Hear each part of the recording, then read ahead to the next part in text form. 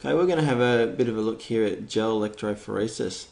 Now let's think about what uh, this all means. Um, gel uses a, a, gel as the medium. It actually uses a gel called called agarose, um, and it, you know it's probably like a bit of a thicker version than the, the type of jelly that you might um, eat and have in your fridge at home. Um, it, it uses electricity, electro, and phoresis, which means it basically means migration or to separate. So it's using gel as a medium and electricity to separate molecules. And the molecules we're talking about in, in this process is, um, is DNA. And we're going to separate them based on size. So here we have an example of a, a gel electrophoresis machine. Um, they can look um, quite a bit different. They basically um, often look a bit like lunch boxes with um, bits of solution floating in and a bit of gel in the middle, um, and some electrodes uh, down either end, um, the, the electrode bit.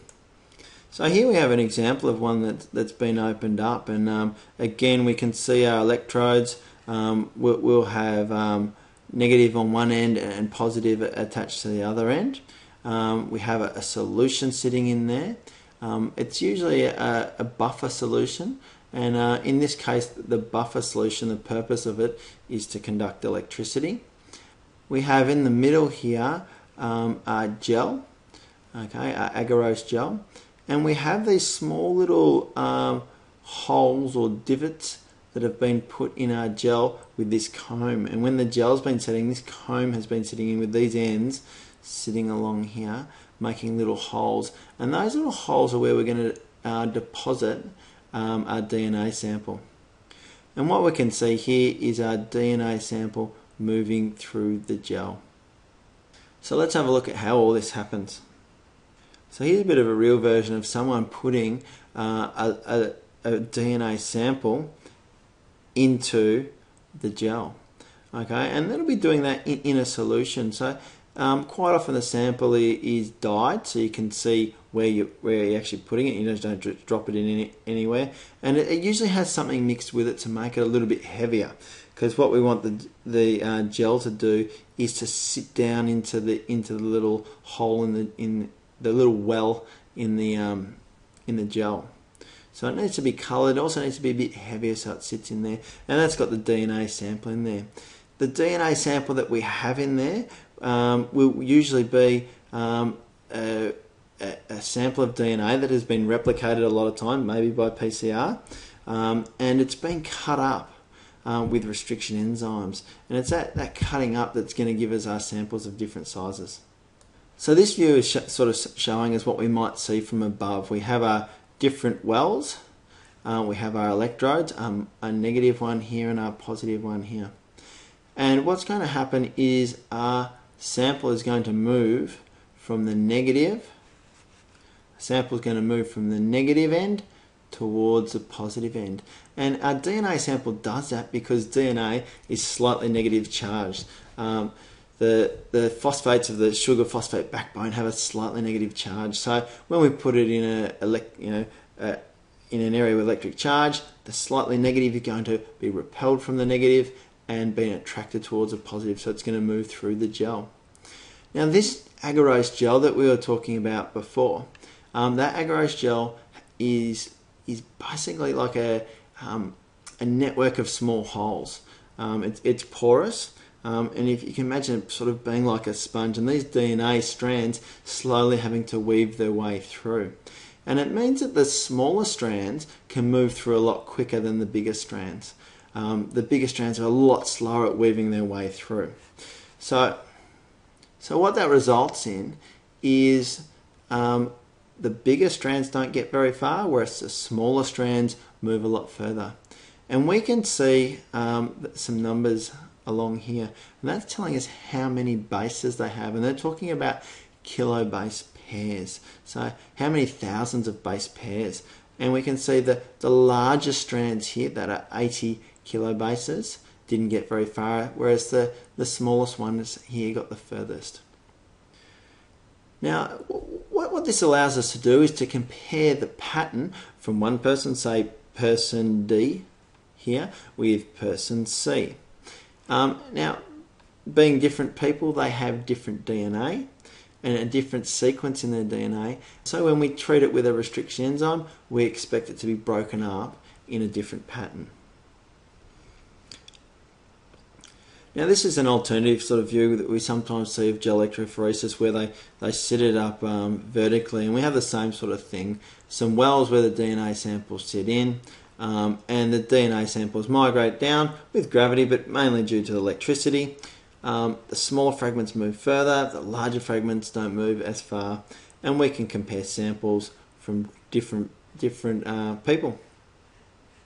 Uh, really good for forensics, paternity tests, um, things like that.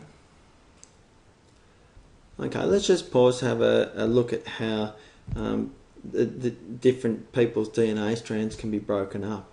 And if we can consider, we took a, a particular section of uh, DNA from person A and person B, we can imagine that the length of DNA is roughly the same. And we might cut that out from all of their DNA using a really specific restriction enzyme. So when we add the restriction enzyme, because the code and the sequence of the nucleotides is different in person A compared to person B, when the restriction enzyme comes along, it's going to cut person A enzymes, uh, sorry, person A's DNA in different places than it would cut person B. Not only different places, but it can also cut it a different number of times. So what we're going to end up with is fragments of different lengths, DNA fragments of different lengths, and also different numbers. We can see there's three different fragments in person A and two fragments in person B, and the fragments are different lengths. Um, these fragments are pretty similar. That's a lot longer than these fragments. Um, and these fragments are, are what going to cause our different patterns. So let's look at how this might transfer into a gel. So if we imagine these being our gels down here with our negative end and our positive end here, uh, person A has one small fragment which is going to travel a long way through the gel. It can weave its way through quite easily. Uh, has a medium sized band and a, a longer band. Person B um, only has two bands rather than the three, so we can see two bands. Both of them are quite long, so neither of them travel very far through, and both of these are a bit longer than person A's longest band, so they don't travel through quite as far in comparison. So we can see same section of, of DNA cut up quite differently, producing a different banding pattern. Now the results that we get can be um, stained um, or, or looked at in different ways. Sometimes with a fluorescent stain like these two here, sometimes with some, some particular uh, dyes as well. Um, and, and you might need to look at it under, under particular lighting um, to be able to see them properly. Um, what you can see in a few of these samples here is we have some samples down the side and these are quite often our standards and they'll be of a sample that we might put in in one of our wells of known sizes and we can see that there most of our samples here so you know, this one here we can see that um, we know that in our standard which is number one a thousand base pair molecule would travel this far, whereas a, a 200 base pair molecule might travel this far and a 500 this far. So I could look at this sample here and sample 2 and say it's one fragment that's probably a, a bit shorter than a thousand, maybe about 900, 800, something like that. Um, whereas I could look over in in sample 4 here. And I go there's two distinct bands. One of the bands is about a thousand base pairs long and the other one is somewhere around uh, 650 base pairs long. Okay? Um, so there's two bands so I know that there was two two different length strands. Whereas here there's one band on you there's one length strand So really two factors we can tell how far they travel, which tells us the length, and how many bands, which tells us basically how many fragments a particular person has. Now, when we go to look at these um, these samples and do this analysis, there's a, a technique um, called Southern blotting, and it it, it um it, it, this diagram probably makes it look quite quite a complicated process. The level we need to know is that after we've run our gel electrophoresis, um, we use some filter paper to absorb uh, the, the DNA samples, and there's a particular um, p- part of um, part of the filter paper that we have, which is a, a nitrocellulose uh, filter, and that is what we absorb the uh, DNA sample into. We add lots of little probes, and it's those probes that attach to this this DNA is what we're looking at when we look at a, a diagram later. Uh, um, and they might be radioactive probes or something that's going to show up in an X-ray. So that's southern blotting. So good luck with your studying of gel electrophoresis.